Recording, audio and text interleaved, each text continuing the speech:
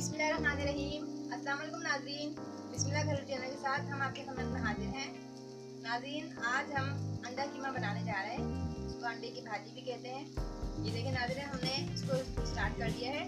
एक बड़ी प्याज और एक बड़ा टमाटर लेके हमने इसको काटा। बारीक बारीक और हमने इसमें डाल के, थोड़ा तेल डाल के इसमें हमने इसको फ्राई कर लिया है और हरी मिर्ची भी डाल दिया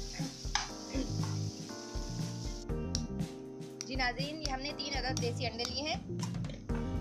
एक अंडा हमने इसमें तोड़ लिया, ये दो अंडे हम इसमें तोड़ के डालेंगे।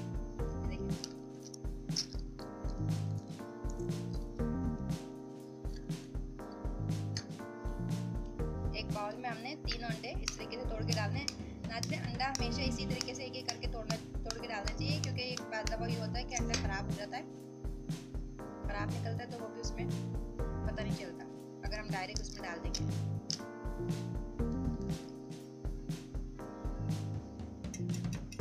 नाजरीन ये इस तरीके से अंडों को अच्छी तरीके से फेंटेंगे।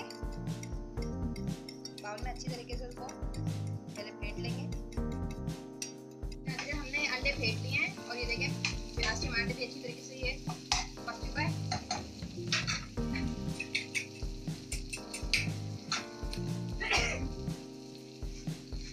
ये नाजरीन बिस्मिल्लाह करते हुए जो फेंटे हुए अंडे थे, हम इसमें फैला के डाल देंगे इस तरीके से।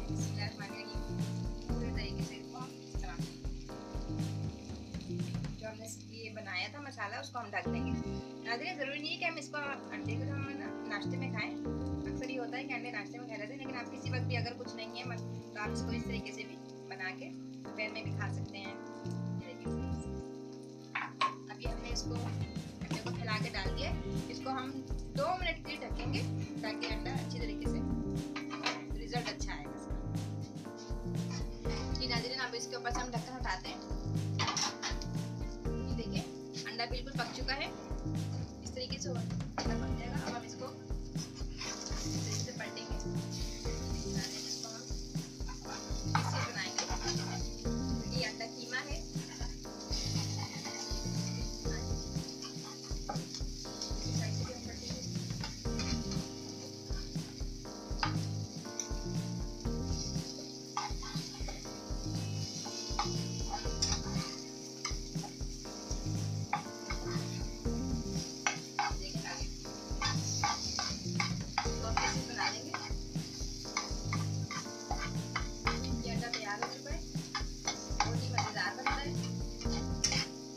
ऑमलेट हाफ़ फ्राई तो आपके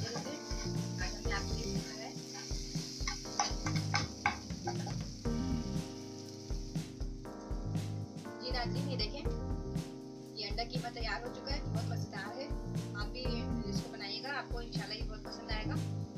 और हमारे चैनल को लाइक कीजिए, सब्सक्राइब कीजिए, बेल आइकन दबाइए, ताकि हमारी हर आने वाली वीडियो आपको मिल सके।